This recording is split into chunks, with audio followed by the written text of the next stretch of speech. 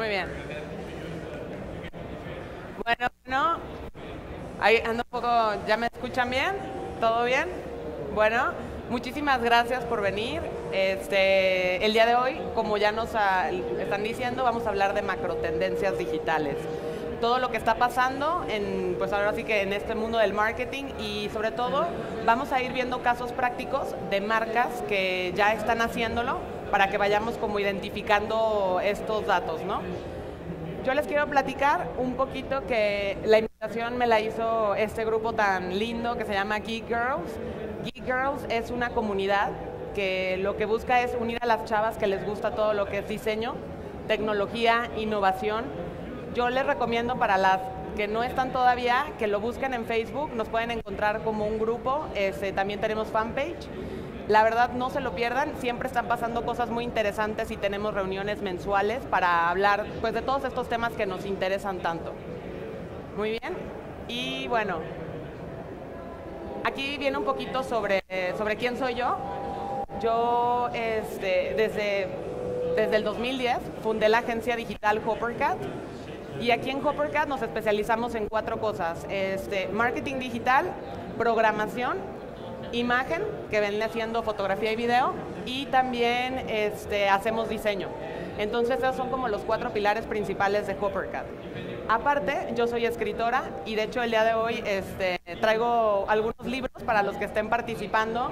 Este, voy a estar haciendo momentos de preguntas y eso los invito a que sean colaborativos y para que se lleven este, un libro. Es un libro de ficción que se llama Aretes de Espadas disponible también en librerías como Gonville, Porrúa, este, y bueno, pues porque claro, todos los mercadólogos somos creativos y tenemos que experimentar por medio de diferentes plataformas y también lo vamos a estar platicando durante la conferencia, ¿ok? Este, bueno, se siente medio raro como el micrófono como que me hace eco, no, si por algo no me escuchan o algo me avisan, ¿sale? Bueno, pues a darle. Bueno, Primero, ¿todos saben qué es una macrotendencia? ¿Alguien que me quiera apoyar como comentándome qué es lo que se imaginan cuando dicen, ay, a una charla de macrotendencias? Y bueno, ¿mande? De hecho, más que es algo bien interesante, una macrotendencia no es inventada. O sea, no es que yo te voy a decir, este es el hilo negro que descubrimos. No, una macrotendencia es algo que podemos ir identificando gracias al mapeo, gracias a las búsquedas, a la interacción que se va generando en diferentes tipos de plataformas. Entonces, las macrotendencias realmente son este, eventos o situaciones que comenzamos cada vez más y que son cada vez más competitivas y que se originan en diferentes países, en diferentes ciudades y bueno, entonces es importante saber qué es lo que está ocurriendo. Y por eso la charla dice que comprendemos macro tendencias del 2015 hasta el 2020. Entonces, puede ser que ustedes ya vayan a haber visto alguna vez estas macro tendencias que estén ocurriendo con algunas marcas que les gustan, porque es normal, por eso es que son macro tendencias. Entonces, bueno, vamos a ir con la primera. Transparencia total. Esta a mí se me hace una de las macrotendencias más importantes porque habla de que las marcas cada vez buscan ser más, más ellas, más, pues ahora sí que cae la redundancia, transparentes. Queremos que pues nos identifiquen como los productos que vendemos y que eso nos ayude como a hacer match con nuestros clientes. Un ejemplo, ¿ustedes conocen la marca Aeri? Aeri es una marca de ropa interior y trajes de baño que salió de American Eagle. American Eagle es una marca de ropa americana, este, la puedes reconocer porque todas sus playeras son tipo polo y tienen unas águilas. Y esta marca, que tuvo muchísima competencia con tipo Abercrombie y otras marcas que son muy similares, decidió sacar esta marca especialmente para chicas que se llama Aeri. Aeri hizo una campaña con esta onda de la transparencia, de mostrar la belleza real. Si ahorita ustedes se meten a su smartphone y buscan Aeri, belleza real, van a ver fotos de chavas de todas las tallas, de todos los colores, van a ver este, curvas, van a ver fotografías no editadas y eso es lo que busca la transparencia, que nosotros nos identifiquemos con nuestros productos y con nuestras marcas.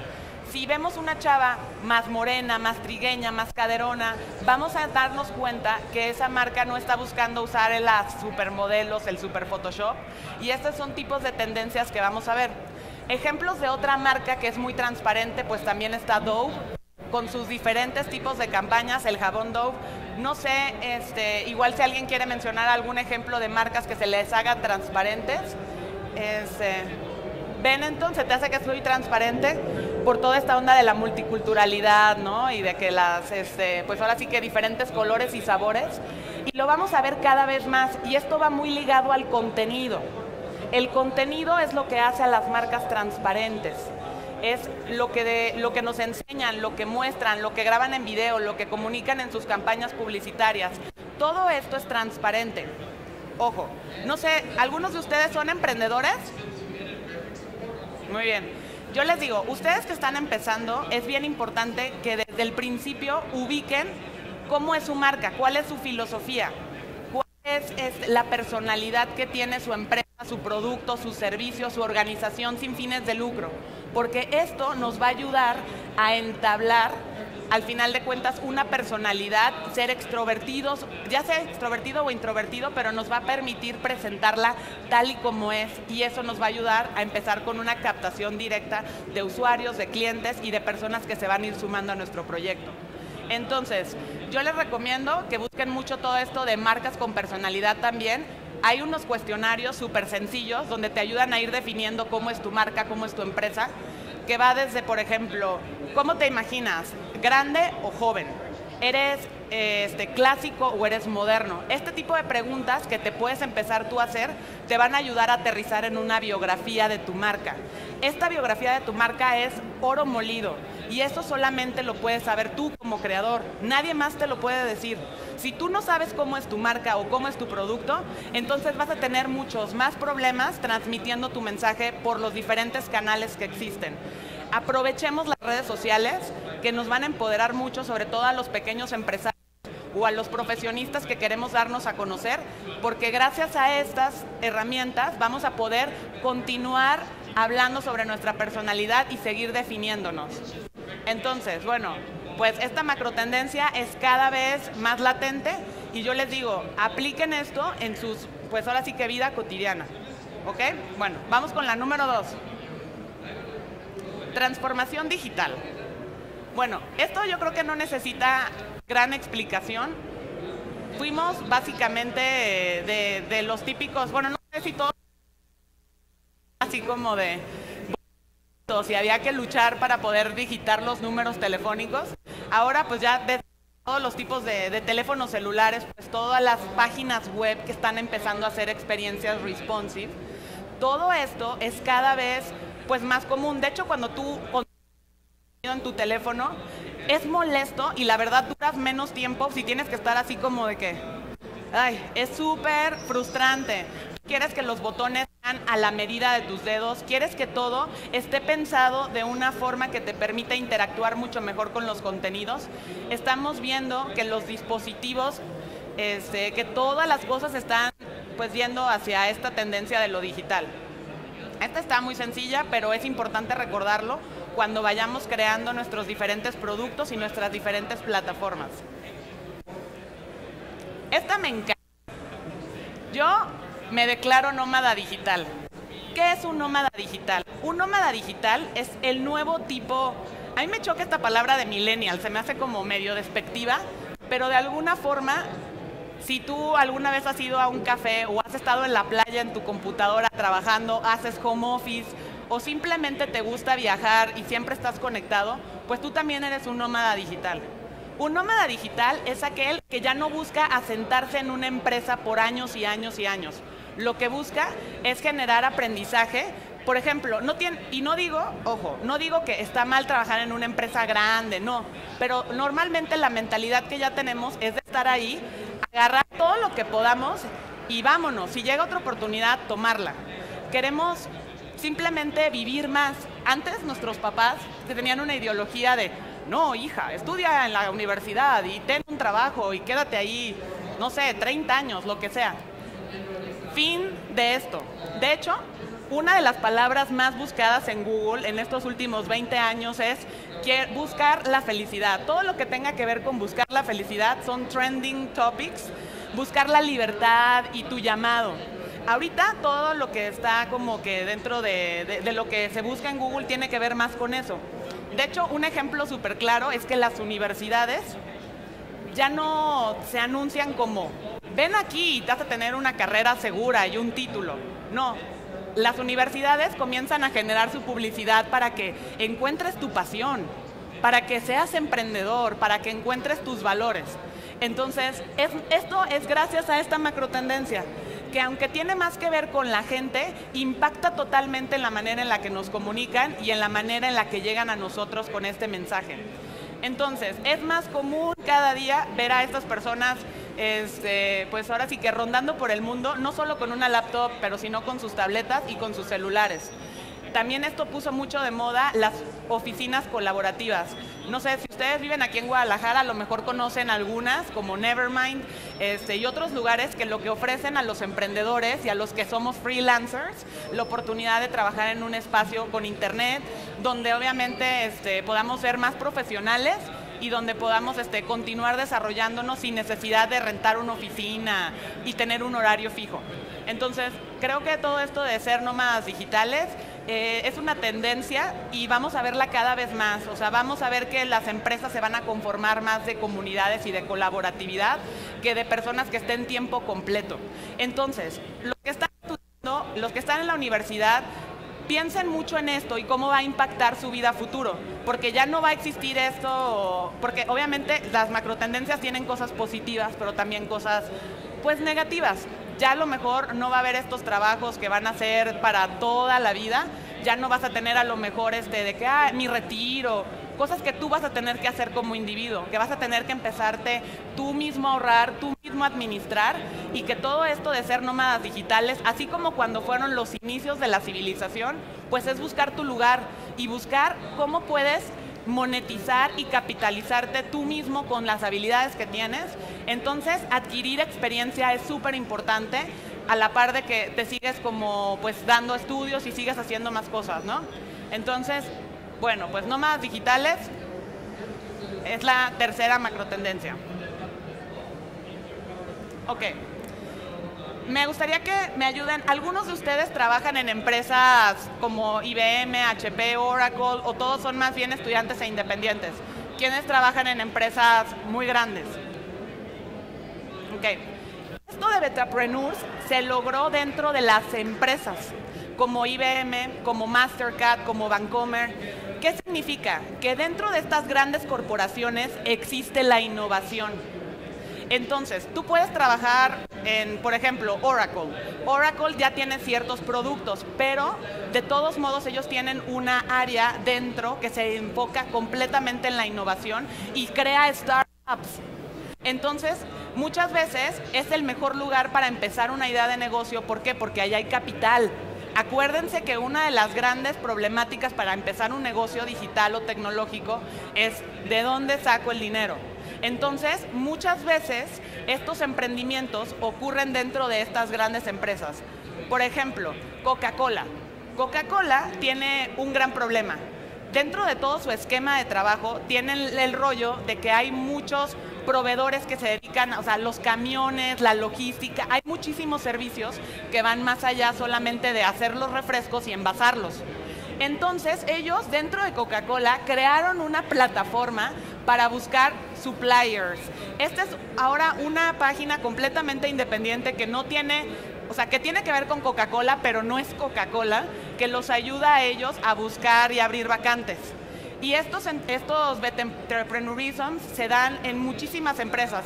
IBM también sé que tiene, este, y a veces incluso crean productos que son competencia directa, pero que van a otro mercado. Entonces es muy interesante. Yo les recomiendo que busquen más información y que también si ustedes están en una organización que tiene el potencial de empezar a crear e impulsar betapreneurs, que lo hagan, porque ahí es el mejor lugar para empezar, porque hay gente con talento cosa súper importante, capital humano, hay dinero y también hay una curva de aprendizaje que se puede dar más rápido gracias a estos ambientes. Entonces, esto lo vamos a ver cada vez más. Porque las empresas como GE, que son gigantes y que son muy corporativos, también quieren modernizarse, también quieren innovar y también quieren ser parte de esta nueva era. Entonces, lo vamos a ver cada vez en, pues ahora sí que en más momentos y en más empresas. Hay que estar atentos a ver qué están sacando estas empresas como parte de su innovación. Smart Cities. Smart Cities es algo que tiene mucho que ver con la ciudad y cómo vivimos. De hecho, Guadalajara desde el 2015 fue nominada como una de cinco ciudades alrededor del mundo que está en proceso de convertirse en un Smart City. Estamos hablando de ciudades alrededor del mundo que buscarán mejorar la calidad de vida de los individuos. Y esto de Smart Cities no solamente ocurrirá en estas cinco ciudades, que una de ellas, si mal no recuerdo, es Casablanca en Marruecos, Wushu en China, tenemos una ciudad también, creo que es Turno en Italia, y Kansas City en Estados Unidos, y obviamente Guadalajara representando todo lo que es el clúster de Latinoamérica. Estas cinco ciudades obviamente se irán sumando cada vez más, de hecho cada vez van a haber más ciudades. Lo que van a buscar es generar este, una ciudad mucho más autosustentable. Se van a hacer inyecciones de capital importante y durante estos próximos 20 años vamos a estar viendo cómo van a cambiar en cuanto a infraestructura de transporte. Se van a invitar a más empresas a venir y establecerse aquí se van a mejorar como las situaciones que tienen que ver con educación, porque todos sabemos que la manera de mejorar como sociedad es por medio de la educación y de las herramientas tecnológicas. Entonces, cada vez vamos a poder estar percibiendo estos cambios. Ojo, no va a pasar de la noche a la mañana. O sea, estamos hablando de proyectos a 20 años, pero bueno, ya en comienzo. Esto de Smart Cities, este, ustedes lo pueden consultar en la página de IEEE, e, que es la organización mundial que se encarga de verificar y de avalar que una ciudad esté en proceso de convertirse en Smart Cities. De hecho, hubo un concurso, se abrió una convocatoria a nivel mundial y este, las diferentes ciudades que estaban interesadas en volverse Smart Cities mandaron sus proyectos, sus presupuestos, mandaron este, por qué querían ser un Smart City y al final se hizo la selección gracias a este comité. Y bueno, entonces yo creo que eso nos confirma que Guadalajara es parte de un centro donde hay innovación, hay tecnología, hay emprendedurismo y hay gente con mucha ondita haciendo cosas. Estamos hablando de las comunidades, estamos hablando de los gamers, estamos hablando de toda la gente que está sumando valor agregado y que está creando algo dentro de las ciudades. Entonces, todo esto de Smart Cities, este, les digo, creo que pueden conseguir más información, revisar en la página. Lo que busca es regresar las ciudades a las personas, buscar la sustentabilidad y mejorar la calidad de vida de los seres humanos. Esperamos que este proyecto de Smart City se, vaya globalizando y no sean solamente, como les decía, esas cinco ciudades las que empiecen a impactar, sino que sea a nivel mundial. De hecho, en India, una de las ciudades más pobladas del mundo, hay un super proyecto con Smart Cities de hacer, ahora sí que toda la India un smart city. Entonces, estamos hablando de tendencias, estamos hablando de cosas que van a pasar y hay que estar con el ojo ahí para ver cómo le vamos a hacer y cómo va a estar esto impactando en nuestra vida laboral y en nuestra manera de, pues, de ser. ¿Alguna duda hasta aquí? ¿Alguien tiene alguna pregunta? Si no, seguimos. Bueno. Conectividad total. Bueno, no sé si ustedes como yo, yo no soy, yo, nací en Guadalajara, pero por ejemplo mi mamá vive en Cancún. Entonces, no es nada extraño para nosotros hacer un FaceTime o abrir la aplicación de Skype o simplemente mandarnos un WhatsApp. Esta conectividad total nos permite comunicarnos con personas en todas partes del mundo, no solamente en ciudades aledañas o dentro de México. La conectividad total nos permite seguir a las marcas que nos gustan, tener Twitter, este, y ahora sí que hacer un montón de cosas todo el tiempo. Las compañías telefónicas también se han ido sumando a este, a este proyecto, lo que ha permitido que cada vez los planes para celulares sean más económicos y también se incluya internet, no solo llamadas y mensajes. Les comento algo bien interesante en México. En México, de hecho, se firmó el COFETEL, que es un tratado de comunicación que de hecho demandó a Telcel porque por muchos años era la única compañía que realmente ofrecía un servicio de cobertura. Esto fue el año pasado. Esto permitió que compañías como Virgin lleguen a México y empiecen a penetrar el, mercado.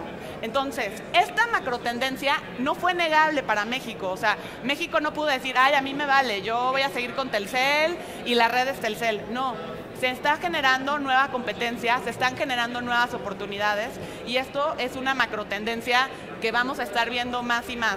Nuevas compañías van a empezar a romper los monopolios, sobre todo en las telecomunicaciones, porque nos merecemos y queremos un mejor servicio con más megas, queremos estar más conectados y es una realidad. No podemos decir, ay, yo estoy, de hecho, yo me he regresado a mi casa si salgo sin celular, así se las pongo. O sea, es lo peor que te puede pasar. O sea, de que se te acaba la pila de la lap, güey, ya no trabajaste. O sea, ya, fin del día, porque realmente estamos acostumbrados a tener nuestros dispositivos con nosotros y a estar constantemente intercambiando información. Entonces, esta macro tendencia, les digo, ya está aquí, ya, ya no se puede negar. Todo esto está pasando. y bueno, video. ¿Se acuerdan que hace un ratito estábamos hablando de marcas con personalidad? Muy bien. Pues esta macro tendencia del video habla de contenido. Ahorita el contenido que más se ve en internet de hecho son videos. O sea, de hecho, no sé si les pasa que a veces buscas algo y lo primero que te sale de video en YouTube. Esto es normal porque el video tiene ya una preferencia como el contenido que buscamos. De hecho, así todo puedes aprender gracias a los videos. O sea, yo el otro día aprendí a hacer sushi. Este, tengo amigos que han aprendido a programar, este, a buscar cosas de, por ejemplo, de que, oye, ¿cómo cambio este header? Güey, googlealo y te va a salir algo que te va a ayudar como para seguir tu aprendizaje.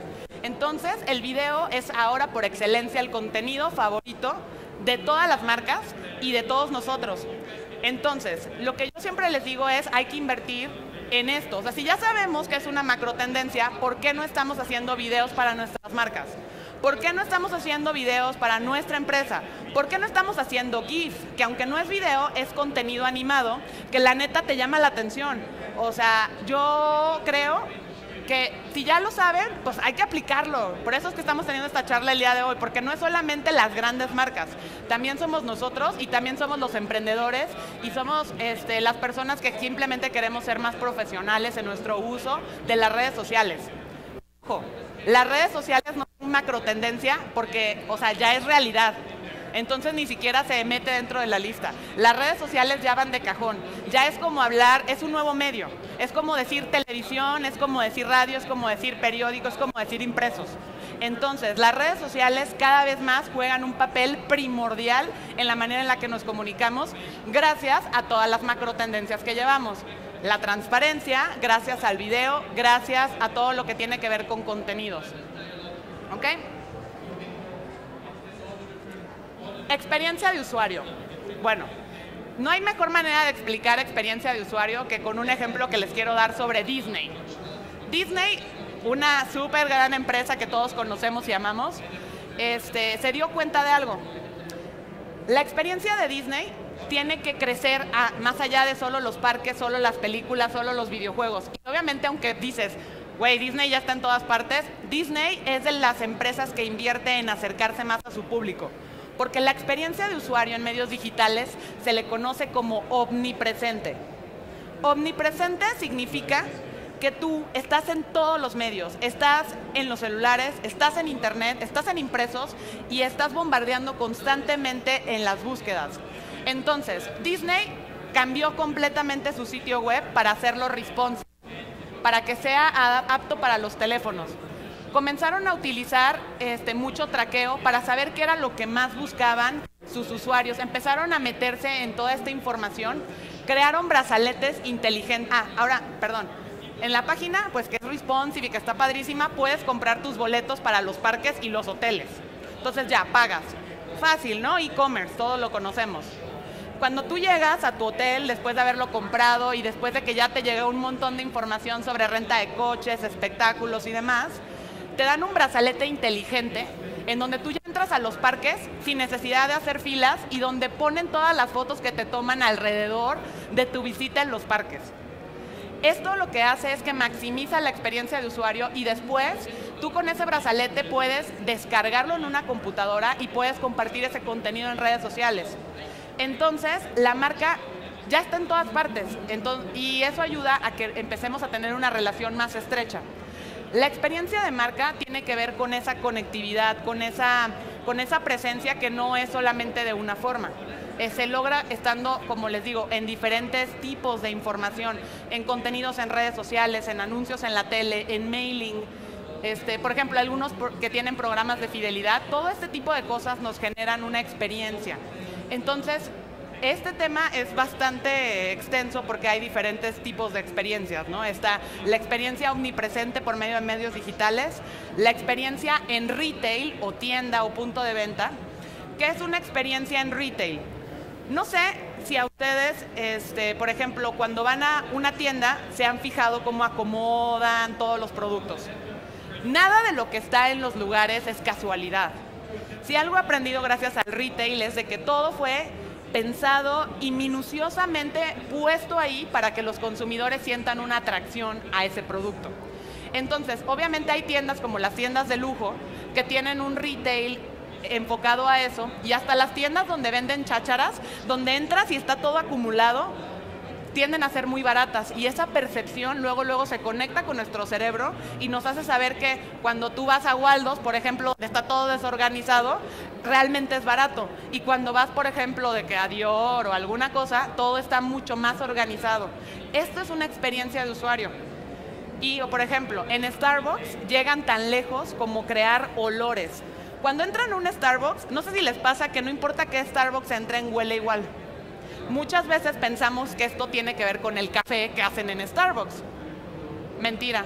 Tiene que ver con un olor prefabricado que rocían en las tiendas y que hacen que todos los Starbucks tengan un olor estandarizado, que nosotros identificamos por medio del olfato, que se liga la memoria y pues para siempre, cuando cerremos los ojos y nos pongan ese olor, vamos a pensar en Starbucks. Starbucks no es la única marca que hace esto en su experiencia de retail.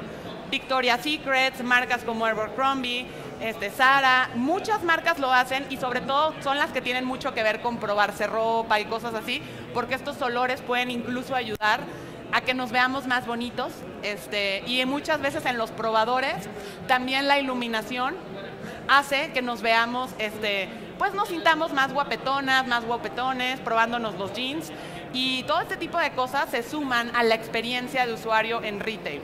Esta experiencia de usuario lo que va a pasar es que cada vez se va a ir metiendo más también a lo digital y como les digo, va a venir acompañado de remarketing, de retargeting, va a venir acompañado de big data, que ahorita vamos a ver porque es una macro tendencia el utilizar todo este tipo de información.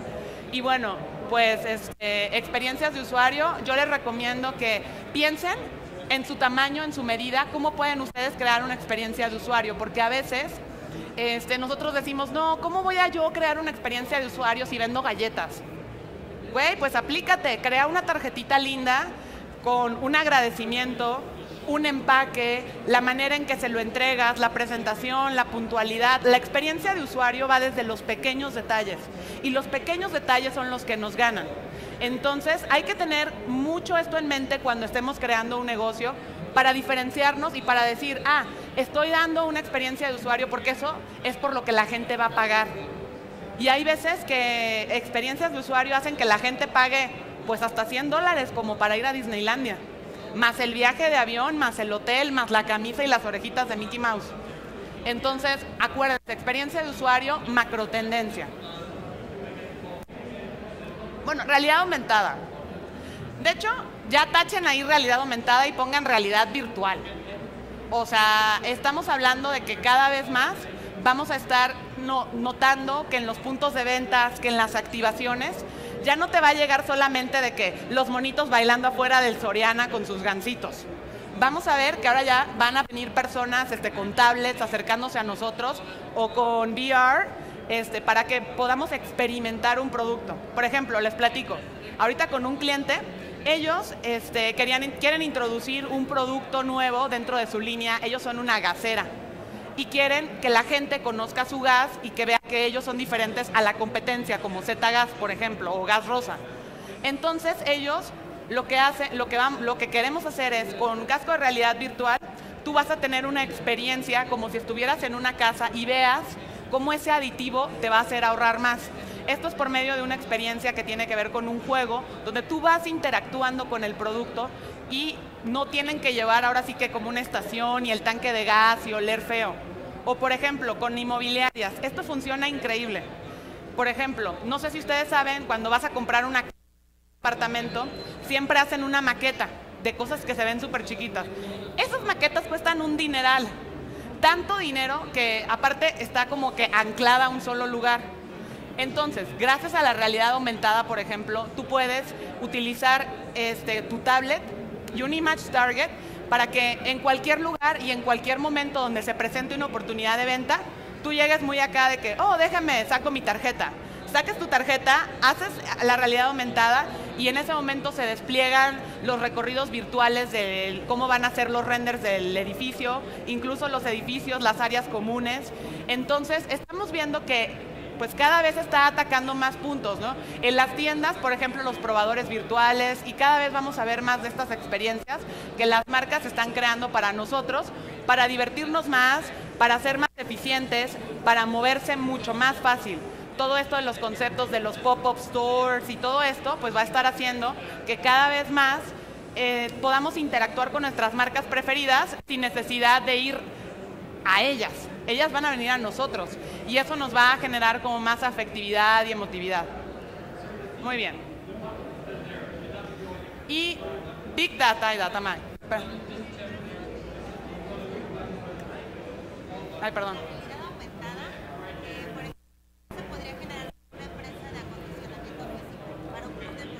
Ok. Ah. ah, muy bien. Si quieres, este, ¿nos puedes repetir tu pregunta para que todos la escuchen?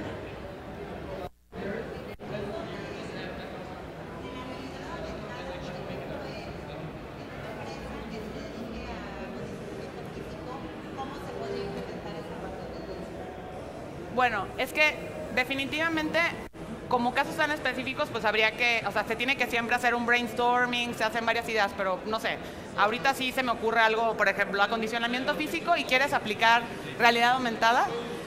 Me gustaría para eso utilizar un aparato que se llama Leap Motion. ¿Alguien lo ha escuchado? ¿Alguien lo ha usado? Leap Motion es un aparato que te permite darte y puedes hacer movimientos. Entonces, por ejemplo, tú quieres hacer una activación para tu empresa de acondicionamiento físico y en vez de llevar como todo el equipo, a lo mejor simplemente con Leap Motion pones a la gente a correr y todo eso se va haciendo, se, se refleja en la pantalla y, por ejemplo, pueden estar corriendo un maratón.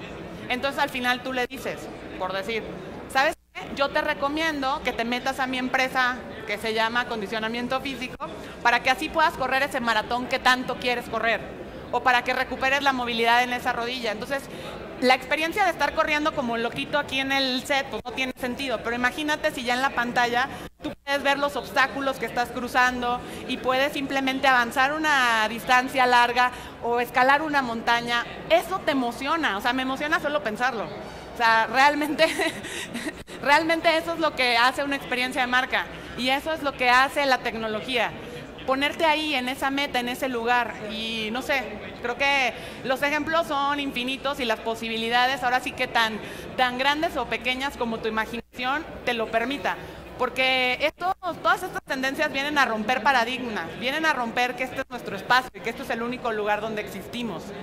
Gracias al Internet existimos en otros lugares y en otros momentos y a lo mejor alguien que está ahorita en Bélgica puede ver y puede estar aquí con nosotros.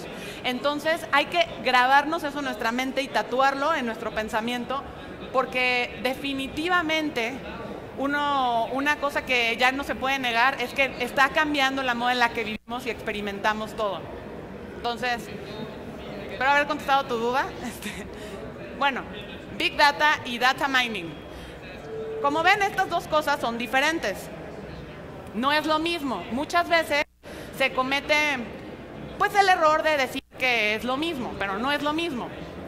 El Big Data, hace cuenta, hace cuenta, yo tengo un campo de árboles de manzanas. Las manzanas que me dan mis árboles es el Big Data, es el fruto, es el producto. El producto de mis búsquedas, el producto de lo que cuando lleno un formulario dejo mi nombre, dejo mi mail, dejo mi teléfono. Eso es Big Data. ¿Ok? Las manzanas. Tener un granjero que le haga así a las manzanas y las baje de los árboles, es el data mining, que es como la acción de quebrar esos datos. ¿Sí me explico? Entonces, por un lado, todas las empresas, todas las personas tenemos Big Data de alguna forma, ya sea nuestra lista de correos electrónicos, nuestros teléfonos. Yo como individuo tengo de información, pues mi género, mi edad, mi profesión.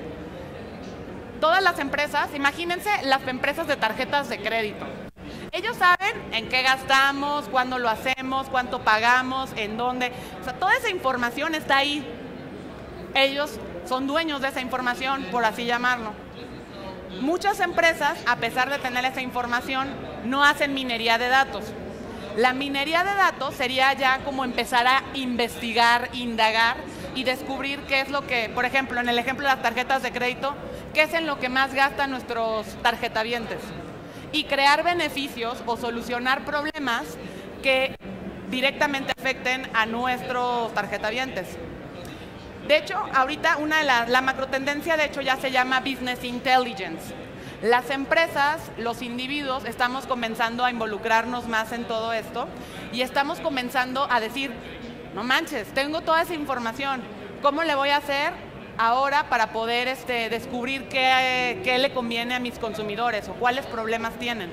Entonces comienzan a invertir en softwares, en analistas, porque no solo son las máquinas las que nos van a resultar esta información, también es la gente que sabe medir estos datos, que sabe revisarlos y que al final de cuentas puede generar conclusiones, porque todo está en qué vamos a hacer con esa información. Por esto es que la macrotendencia es importante, porque nos va a permitir hacer mejoras, crear productos, cancelar, por ejemplo, si dices, ¿sabes que Hay algo que ya no estoy usando, bueno, pues quitarlo de tu lista y poderlo utilizar. Entonces, si ustedes tienen información o están a la mano con pues datos, vean cómo esos datos les pueden servir para, no sé, mejorar la experiencia de su usuario, mejorar los productos, este, pues ir resolviendo problemas. Esto sería importantísimo que los gobiernos lo empiecen a usar también, no solo para robarnos nuestra información y todos estos temas de privacidad, sino que la información que nosotros ya les damos permiso de usar, la usaran para nosotros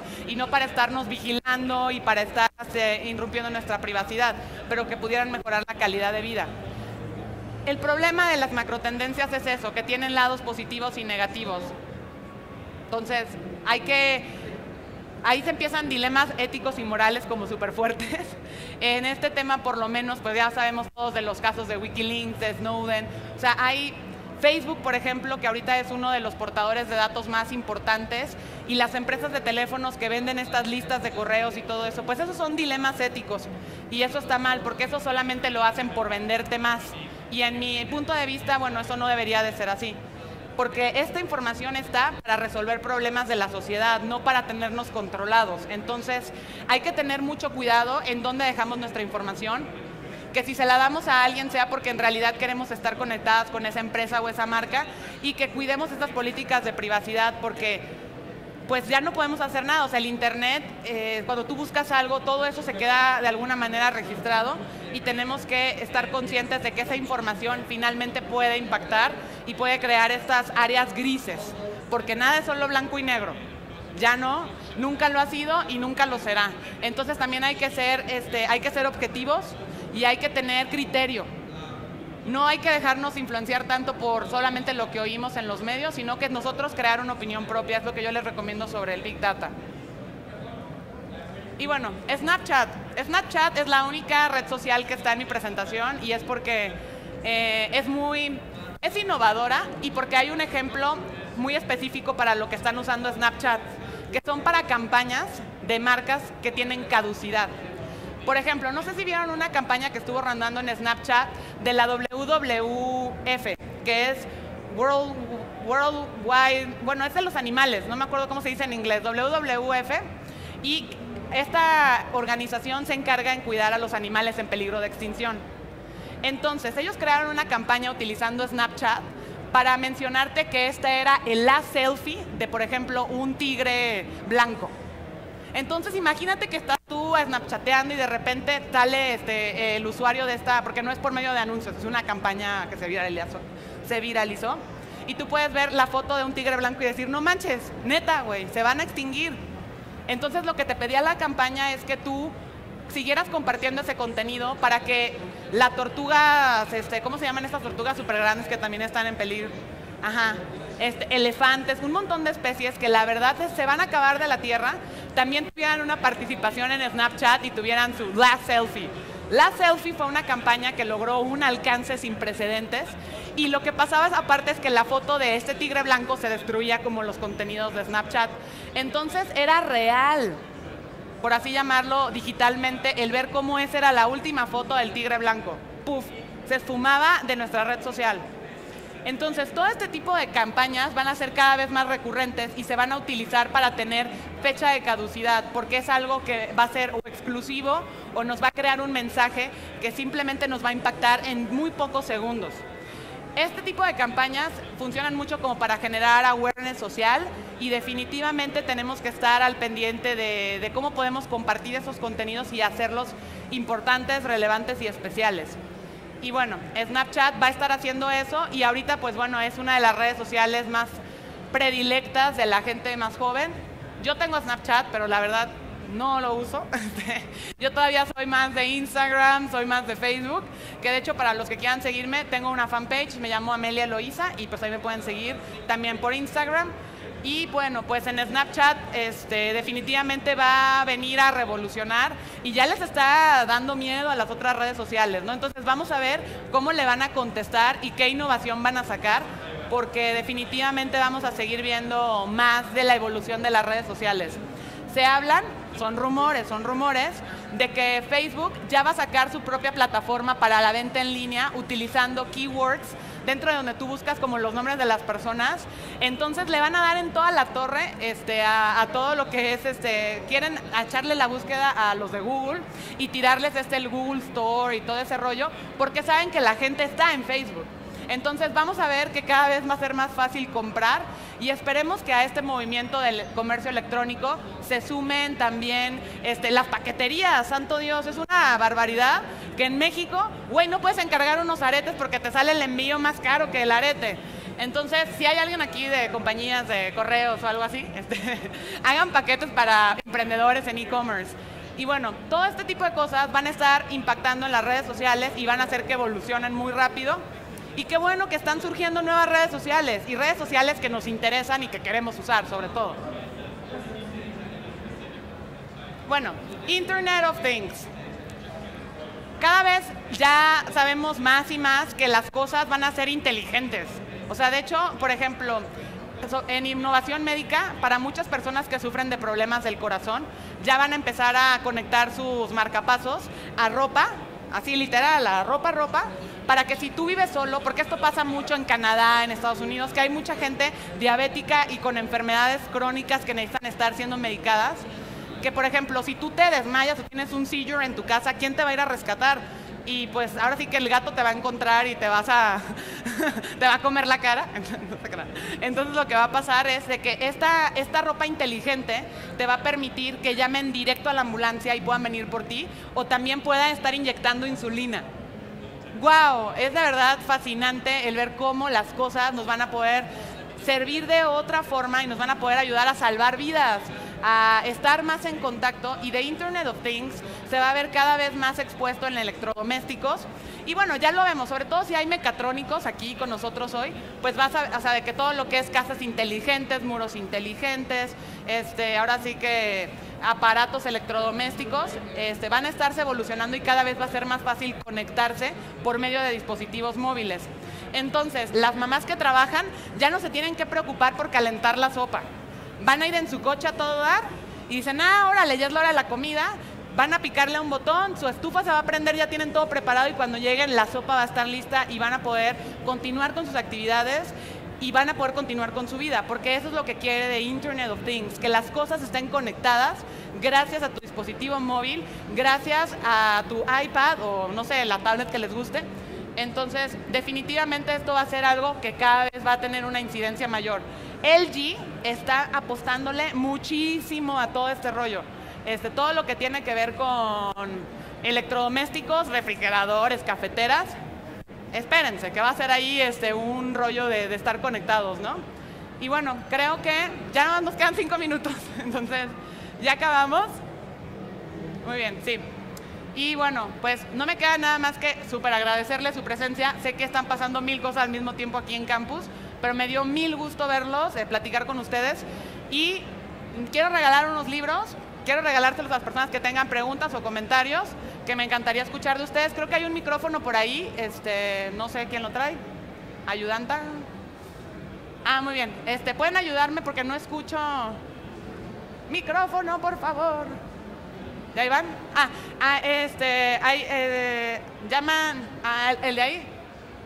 Y luego contigo. Hola. Hola.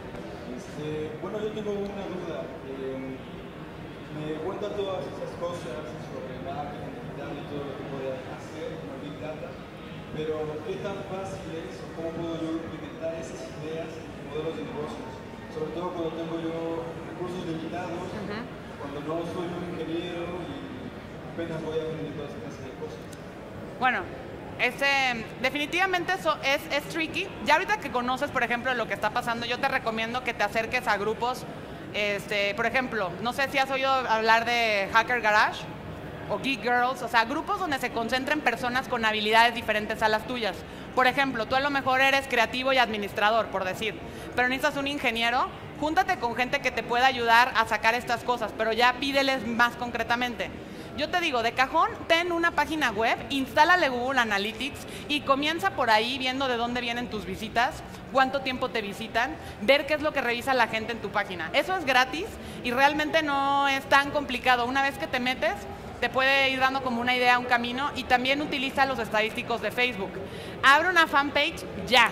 Si no la tienes, ya. Ahorita, mientras termina la conferencia, hazla porque eso te va a ayudar también a ir teniendo un poco más de contacto directo con tus consumidores. Y no te digo inviértele los millones, pero sí, por ejemplo, crea un segmento que tú creas que sea tu segmento ideal y a eso apuéstale 100 pesos, güey. O sea, 100 pesos. Y, eh, y, empieza a generar una base de fans que tengan las características de las personas que crees es tu público meta ideal y comienza a conocerlos más. Escríbeles de repente, mándales un mail. O sea, mucho de conocer la información, sobre todo cuando empiezas muy pequeño, es también nutrirte del feedback que te puedan dar personas a tu alrededor. Puede ser por medio de un monkey survey. O sea, hay varias herramientas. Y también las incubadoras. Yo creo que esos son como los lugares que yo te recomendaría para, para empezar todo esto del Big Data, por ejemplo. Y de las otras, pues ya di varios ejemplitos de cosas que puedes empezar a hacer que te van a ayudar a, a sumarte a las macro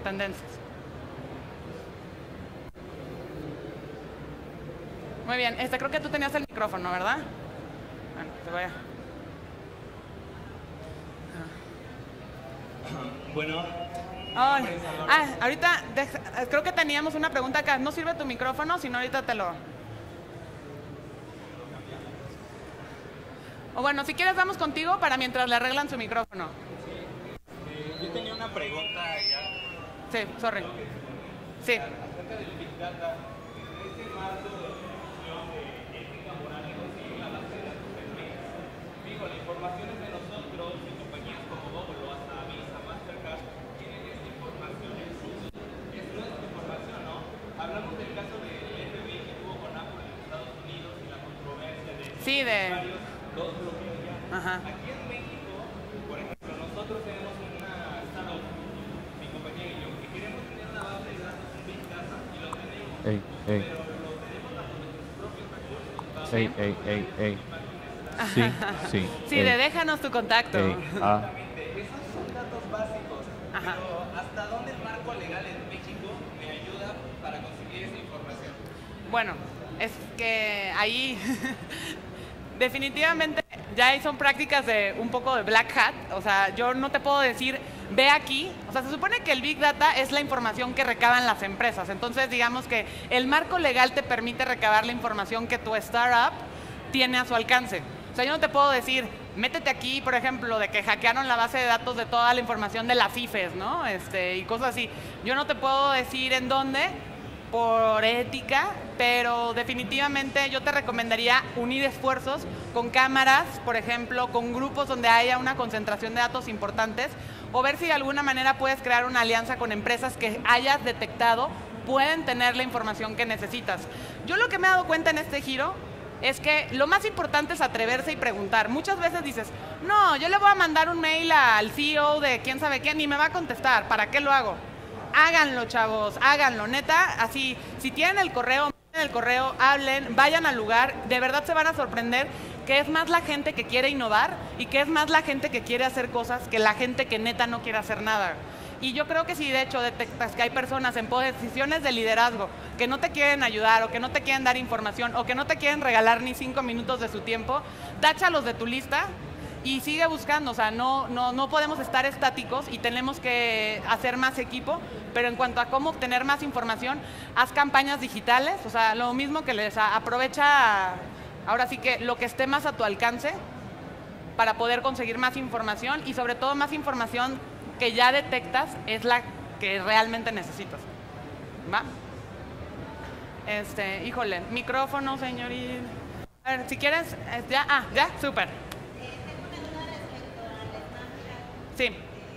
Igual, yo no lo uso, ya en la conferencia de ayer también lo mencionaron que está como más enfocado a la generación Z y que lo usan mucho, pero ¿tú qué recomiendas? Si mi segmento al que va dirigido la empresa no usa o no tiene como esta línea ¿no? de, de utilizar esa red, ¿la puedo descartar o, o si me afecta? Mira, yo lo que les recomiendo y a todos, no, o sea, hay una frase que, bueno, creo que la traducción es, no, no te metas más a la boca lo que puedes masticar. O sea, entonces estás empezando, o sea, y apenas te das, o sea, mejor alimenta las redes sociales que estás detectando son más primarias para tu segmento y hazlo bien.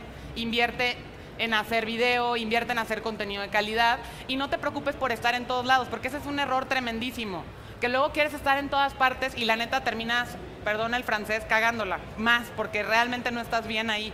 Y luego muchas pas y les pasa hasta las empresas grandes que realmente no tienen un departamento para crear contenidos adecuados para ciertas redes sociales y la neta es que luego sale peor y terminan siendo más afectadas el branding y la identidad de la marca por algo así mal hecho. Entonces no te apures tú, haz bien, lo que ya detectaste está ahorita y vas a ir creciendo y vas a tener otros diferentes alcances. Nomás busa, sigue los analíticos, ¿va? Muy bien.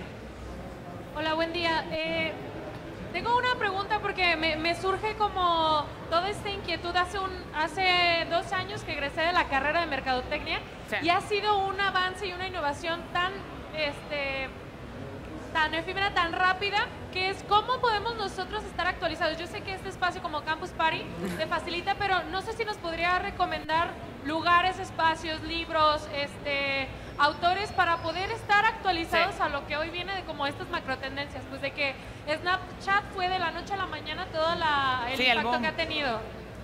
Bueno, yo creo que lo que yo te, o sea, yo soy, no, no tengo como un lugar en específico donde estoy buscando. Me gusta mucho, pues ahora sí que googlear cosas. O sea, yo lo que te recomiendo es, tú, si ya tienes curiosidad, googlea, busca y compara la información. De hecho, yo también, yo egresé en el 2010 de, de marketing. Güey, neta, yo así de que bien contenta con mi título y así.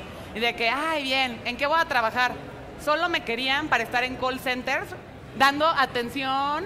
Yo con mi disque English y disque quién sabe qué tantos estudios. Güey, literal, ahí haciendo soporte técnico para las impresoras. Entonces, ¿qué hice yo? En ese momento dije, no manches, no sabía usar yo Photoshop, no sabía yo este, usar herramientas de análisis de información.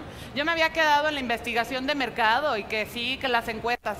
Obviamente todo tiene su lugar y todo tiene su para qué. Pero sabes qué, tú tienes que ser la primera persona que te empuje a hacer y salir de esa zona de confort. Yo te recomiendo googlea cosas, vean muchos documentales, güey. Yo te puedo recomendar algunos en Netflix que se llama Deep Internet. Buenísimo, Deep Internet. Esto, los, para los que no saben qué es el Deep Internet, el Deep Internet es lo que está atrás del Internet, este, está muy interesante. Y también hay uno sobre el chico de Reddit que se suicidó, pero también está muy interesante y te ayuda como a tener una perspectiva más este, global. Y bueno, realmente eh, todo este tipo de... Hay uno muy bueno también de videojuegos, que fue videojuegos independientes, también está en Netflix, que se llama creo que Gamers. Y realmente pues intercambian información, nútrete, únete a Geek Girls y bueno, pues este, sigue tu investigación y tu propia como alimentación. Entonces, bueno, creo que no sé cómo andamos de tiempo, pero bueno, Me quedan tres preguntas más para ya darles este. A ver, más, si quieres me voy a pasar por acá. Tengo una duda sobre lo que es la publicidad de Internet. Eh, No, la publicidad se encuentra prácticamente ya en todos lados, Facebook, Sí. Twitter, Snapchat. Y mi duda es cómo poder contactar a la gente, anunciarles sin llegar a saturarla, sin llegar a, a abrumarla en todos lados. contenido relevante. The end. O sea, eso es. No importa cuánto anuncias, no importa cuánto estés, mientras valga la pena y la gente te quiera seguir escuchando, do it. Eso es mi prerogative. Hola. es que creo que había unos por acá primero. Ah, Ah, ok. Bueno, Sí. lo que pasa es que Ah, ya se acabó. sigue la siguiente conferencia. Ah, bueno. Entonces, una disculpa por el tiempo, pero al final pueden acercarse con ella y ella les va a resolver sus dudas. Ahora. Ahorita nada más les vamos a dar un minuto porque les van a entregar unos regalitos Sí. acá de este lado. Sí, me pueden seguir en Amelia Eloísa. Mil, mil, mil gracias, Campus Party. Sigan rockeando, sigan aprendiendo. Y acuérdense, lo más importante es el contenido. Eso es, eso es. Gracias.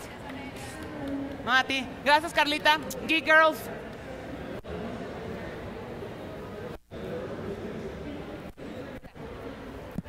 Hola, hola. Um, not working. No trabaja. Um, ¿Me lo prestas? Um, um, Bueno, bueno, creo que ya, ya funciona. Bueno, bueno,